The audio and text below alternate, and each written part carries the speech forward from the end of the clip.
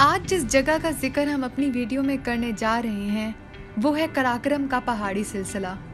असलकुम Pakistan geography channel में आप सबको खुश आमदीद। कराक्रम कश्मीर का एक पहाड़ी सिलसिला है जो पाकिस्तान, चीन और हिंदुस्तान की सरहदों पर फैला हुआ है। इस सिलसिले का शुमाल मगरबी सिरा अफ़गानिस्तान और ताजिकिस्तान तक फैला हुआ है। कराक्रम के पहाड़ी सिलसिले का ज़्यादातर हिस्सा गिलगित बल्तिस्तान के दायरे इख्तियार में आता है, जिस पर पाकिस्तान का कंट्रोल है। इसकी बुलंद तरीन चोटी और दुनिया की दूसरी बुलंद तरीन केटू गिलगित बल्तिस्तान में वाक़ है। ये मगरब में वाखान कॉरिडोर से शुरू होता है, जो कि अफ़गानिस्तान में वाक़ है और गिलगित बल्तिस्तान की अक्सरियत को घेरे हुए है। और लद्दाख जो कि भारत के जेर कंट्रोल है और अक्साई चिन जो कि चीन के जेर कंट्रोल है वहाँ तक फैला हुआ है ये दुनिया का दूसरा बुलंद तरीन पहाड़ी सिलसिला है और पामीर पहाड़ों को को हिंदुकश और हिमालय के पहाड़ों समेत सिलसिलों के कम्प्लेक्स का एक हिस्सा है कराक्रम की 18 चोटियों की ऊंचाई 7,500 मीटर से ज़्यादा है जिनमें से चार 8,000 मीटर से ज़्यादा हैं। केटू 8,611 मीटर पर दुनिया की दूसरी बुलंद तरीन चोटी है।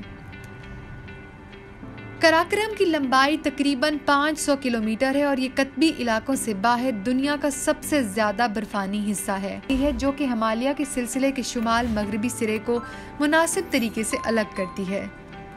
ये दरिया पाकिस्तान के मैदानी इलाकों की तरफ़ जनूब मगरब की तरफ़ अचानक मुड़ने से पहले शुमाल मगरब में बहते हैं।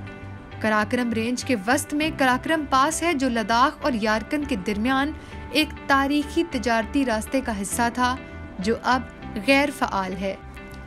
अपनी ऊंचाई और नाहमवारी की वजह से कराक्रम हिमालय के मजीद मशरक के हिस्सों के मुकाबले में बहुत कम आबाद है। यूरोपी मतलाशियों ने सबसे पहले 19वीं सदी के अवाइल में दौरा किया। इसके बाद बरतानवी सर्वे कार अठारह में शुरू हुए। अठारह में कर्नल फ्रांसिस यंग हसबैंड की महम के ज़रिए मुर्तफ़ा पास को अबूर किया गया था और दरियाए हुंजा के ऊपर की वादियों को जनरल सर जॉर्ज ने अठारह सौ बानवे में दरियाफ्त किया था। 1910 और 1920 की दहाइयों में होने वाली दरियाफ्तों ने इस खत्े का बेशतर जोग्राफिया कायम किया।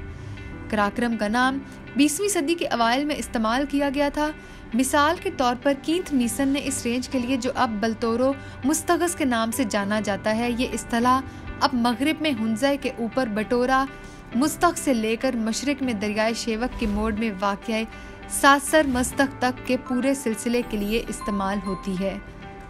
1999 और 2000 के दौरान चंद्र प्रकाश काला के ज़रिए दरियाए शेवक के केचमेंट में और पनामिक से तरतूब गाँव तक फूलों के सर्वे किए गए थे।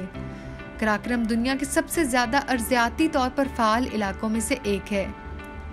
ऑस्ट्रेलियाई प्लेट के दरमियान प्लेट बाउंड्री पर है।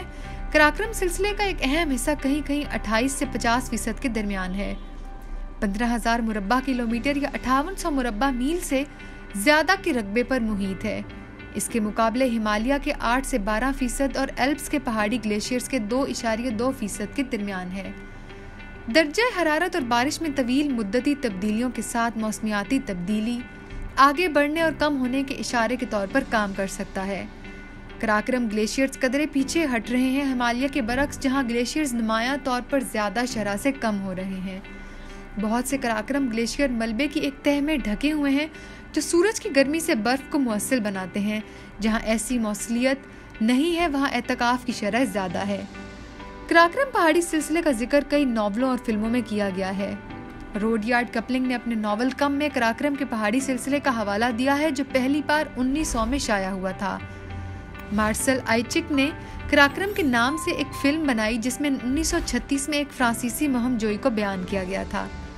इस फ़िल्म ने वीनस फ़िल्म फेस्टिवल में सिल्वर लाइन जीता। उन्नीस सौ सैंतीस में ग्रीक मोर्टिसन ने कराक्रम और ख़ास तौर पर केटू और बल्ती अपनी किताब थ्री कप ऑफ़ टी में खत्ते में बच्चों के लिए स्कूल बनाने की अपनी जस्तजू के बारे में वसी पैमाने पर तफसील दी है। केटू कहानी मुस्तनसर हुसैन तारड़ के केटू बेस कैम्प में अपने तजुर्बात बयान करते हैं। तो नाजरीन, ये थी कराक्रम के पहाड़ी सिलसिले की तारीखी और जोग्राफियाई मालूम उम्मीद है आपको हमारी बाकी वीडियोस की तरह ये वीडियो भी अच्छी लगी होगी। अगर आपको हमारी वीडियो अच्छी लगी है तो इसे लाइक और शेयर करना मत भूलें। अपना फीडबैक हमें कमेंट्स के ज़रिए ज़रूर बताएँ और साथ ही साथ हमारे चैनल पाकिस्तान जोग्राफ़ी को सब्सक्राइब भी कर दें। बहुत शुक्रिया।